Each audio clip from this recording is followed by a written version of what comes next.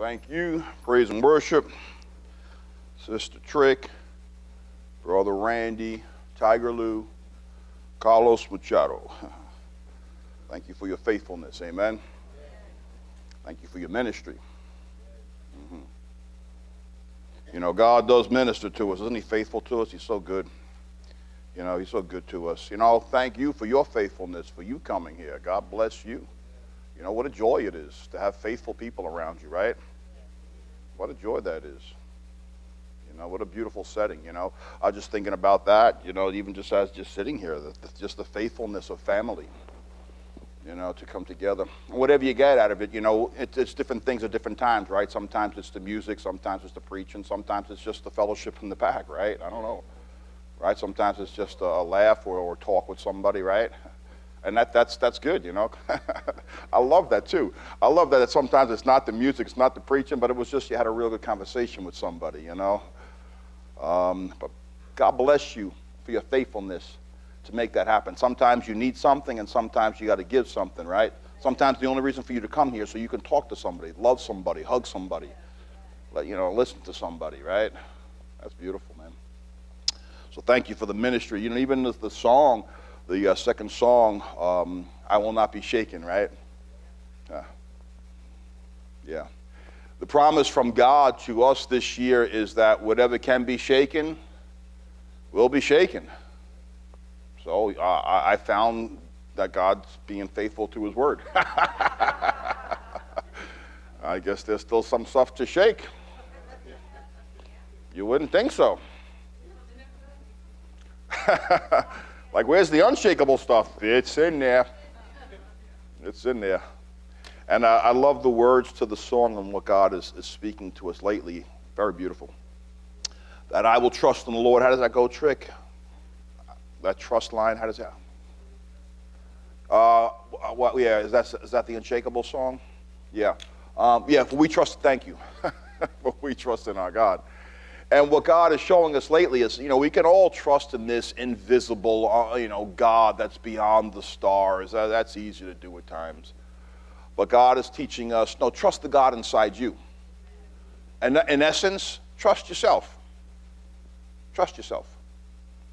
Because it's a God in you that moves you, that motivates you, that causes you to do things. You ever, you ever just do things in life and just say, at the end of it, you just say, now maybe I'll just speak for myself, but I'm sure I'm not at the end of it, you say, I'm such an idiot. right? I mean, I guess maybe we spend too much of our time with that. I'm such a moron. Why do I keep doing that? I'm so stupid. Um,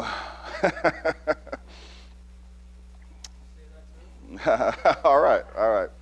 Very good, Pop. But God is saying, no, we, we can trust in this invisible God. God, I, I know God's saying, I'm in you. Trust yourself. Trust your, your motivation. Trust the things that you do. Although it doesn't seem to make sense, or sometimes it blows up, or sometimes it didn't go the way you planned, trust yourself. Trust that God led you to do what you did. Have confidence in that. For we trust in our God, not this invisible God, the God in you. Trust in yourself, right? I know God's raising us up. I know He is. And then, and then what's, the, what's, what's, what's, what comes with that? It was in the song, but um, oh, we're, we're unshaken. it produces an unshakableness. it comes from you trusting yourself. And then, you know, with it also, you know, we trust each other. It's easy to say, I trust God. What an, what an empty phrase to say when we, can, we, we, when we can't agree with our own decisions. And Lord have mercy, we sure don't trust every, you know, the folks around us, what they're doing, the methods they choose to do it, right? God said, you say you trust them. Well, trust the people around you. Trust how they did it. Oh, they didn't do it the right way because it wasn't your way? Yeah. Trust. Trust each other. That's good. I, that, that's God, that was good for me. I, I really enjoyed that. Really enjoyed that. Did you need some of that? I desperately needed that. Because once you trust in that, you trust in yourself, God wants to give you that gift. Um, it, it, takes away the, uh, the shakableness. It, it, it, gives you confidence. It gives you confidence and strength, and strength to do whatever you're doing bigger and larger. Because fear holds you back, right? Fear holds you back. It'll, it'll, it'll choke you out. But that'll give you the confidence to do whatever you do and you do it bigger and larger. So I haven't begun to make a fool of myself yet.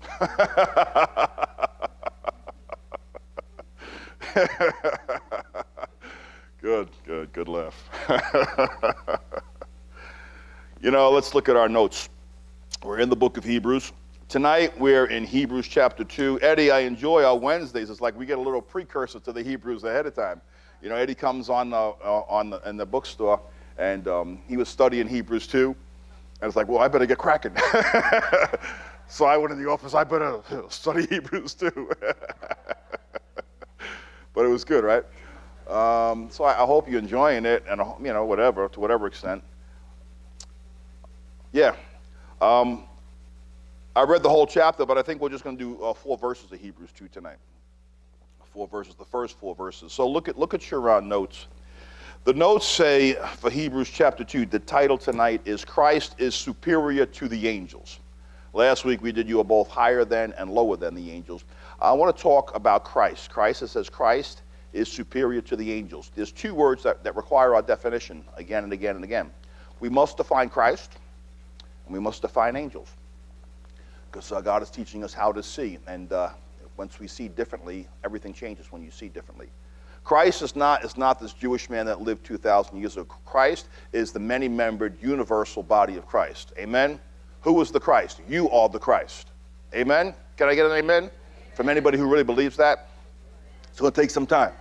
So, so here in Hebrews, it's not talking about the Jewish man. It's talking about the body of Christ, the real corporate, many-membered body of Christ. The true body, even Jesus, Christ in his fullness, the Christ that he lived in was not his individual self. The Christ that he lived and operated in was the universal. It was him, his Father, the Holy Spirit, you and me. It was like he was not even an individual. The Christ, the Messiah, the anointed, the anointed one is, is universal. It's us drawing from each other, right? Jesus drawing from his Father and, and, and from the people around him. You don't think Jesus drew from the love around him? You don't think Jesus was strong because of the people who loved him? You don't think Jesus was confident because somebody believed in him? Sometimes it just takes one person, right? I mean, you, you ever have that? Like the whole, it seems like the whole world's against you. It's not really true. But just one person believing in you. Yeah, right? And that, that, that's what we see with, with Jesus Christ. But, but so Christ, by definition, who's Christ? You. And, and, and who else? And, and, and I pray God expand your vision. He wants you to see Christ in everyone and everything. That's the Christ we're speaking of in Hebrews. Who are the angels? The angels is anything less than Christ. The angels is a messenger. It's, it's, it's, it's, a messenger who, who expresses some kind of divine communication, but it's less than the Christ. It's you believing that you are spiritual, that you are immortal, eternal, but you are not the Christ. The angel is lesser than the Christ. It's you not believing who you really are. It's me not believing who I really am. And, and, and we do that a lot of times in our life. We really don't believe that we are the Christ. Therefore, we are essentially the angel, less than Christ. We're divine, or we don't believe we're divine. We believe we're spiritual, um, and we're eternal, and we have things of God, but we're not really the Christ. Are you guys catching on to that? Because we'll say it like a million more times during the course of Hebrews. So those two defining terms are necessary. Who is Christ? Us, who are the angels? Also us. It's us when we don't believe that we're the fullness of who God says we are. And we don't believe that. I don't know if it's possible to ever believe that, but anyway, the fullness of it. Okay, let's see what else we got. You know, we've been talking in the very beginning of Hebrews. In the beginning of Hebrews, we're told that Christ is superior to the prophets. Remember that? We said that Christ, not talking about the Jewish man, Christ is superior to angels. Um, soon we'll, we'll see that Christ is superior to Moses. You ever read the book before? Right? Uh huh. And uh, let's see. Um, so on and so forth, I guess. Mm-hmm. All right, let's, um, let's read the first four verses. We're going to read it from the Message Bible just to mess you up. So, uh, Pastor Dad, could you do that for us? That's in your notes there. Uh, Hebrews chapter 2, verses 1 through 4. Why don't you read that for us?